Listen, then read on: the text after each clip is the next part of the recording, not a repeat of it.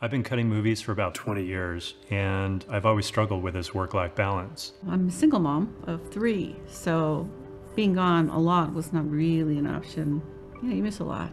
So, the general perception uh, of Hollywood, uh, the cachet of Hollywood, really doesn't address the grueling nature of production. I was staring down four months of travel. I was a single dad.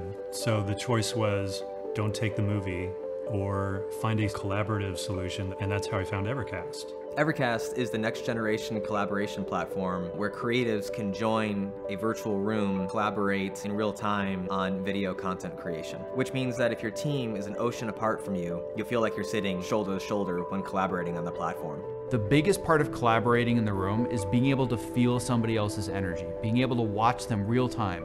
The timeline is right there, and you're able to do this in the comfort of your own home. You can have all these decisions about the work as the work is being done with the artists that are doing the work. Had the vision to see a need. We did not anticipate that that need would be catalyzed by a pandemic. Once COVID hit, all of a sudden that was a rethink on how our industry is going to move forward. Because of Evercast, we can continue to work from home, and we've been using it ever since.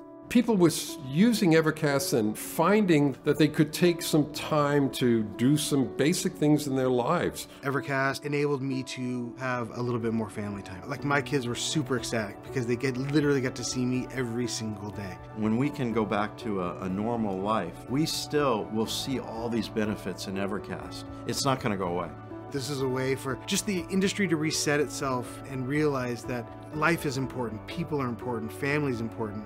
The impact that Evercast had and how it was able to save so many jobs, that's something that I'll be proud of for the rest of my life. We're grateful for the opportunity to have been able to provide a platform that has broadening use cases and giving people flexibility to have a higher quality of life is overall the win for us and for obviously the community we're serving.